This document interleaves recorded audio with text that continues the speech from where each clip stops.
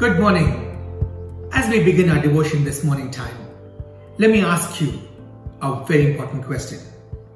If God had to come and appear before you and say, wish one thing, what would you wish for?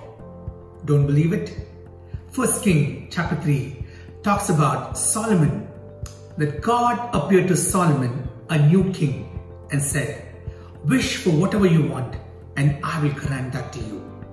Solomon did not ask for power, kingdom, wealth, but he asked for wisdom and God gave him generously. The Bible says that God gave him so much of wisdom that his wisdom was like the sand of the seashore. Now that's a lot of wisdom.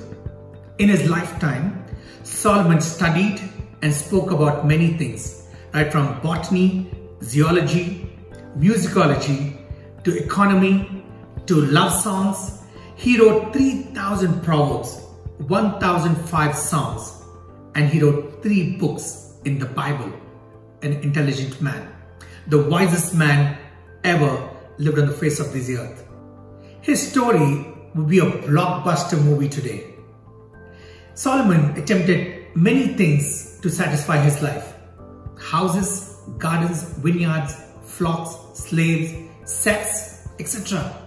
He reached the highest point of his success, but yet felt empty in his heart. He could not figure out why he was not being satisfied. The Bible says that his wives turned his heart to other gods. He was not loyal to his God. He forgot the first principle. The fear of the Lord is the beginning of all wisdom. Bored and burnt out, at the end of his life, he summed up his entire achievement, his wealth, everything in just one word. Vanity. Vanity. Everything is vanity. That means meaningless. Meaningless. Everything is meaningless. He said that word at least 40 times in the 12 chapters of Ecclesiastes. For a smart guy like him, he did pretty dumb things. And that's why I call him the wisest fool because he left God.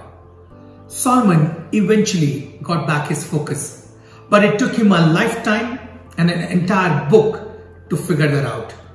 And here is the conclusion. There are two things that you and I can learn from Solomon's life and which everybody is chasing after. Number one is that God shaped vacuum in our hearts and only God can fill it. He tried women, in fact 1000, wine, wealth, the richest king. He hoarded many things, a lot of work he did. But in the end he says it's all vanity. It's all waste, chasing after the wind. And I just want to include one more tableau and that is worship until you learn to worship your creator, your life can never find meaning. Jesus said, to love the Lord your God with all your heart, your mind and your soul and with all your strength.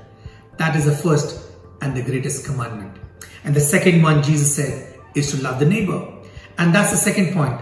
The life-shaped vacuum inside us. That is your mission to love people as and serve them. How about you this morning time? Have you figured out what you really want in your life? If not, ask Jesus to come into your heart because only Jesus can give you that meaning and that purpose for your life. My prayer is that you will find both and you will find it only in one person. That is Jesus. Amen.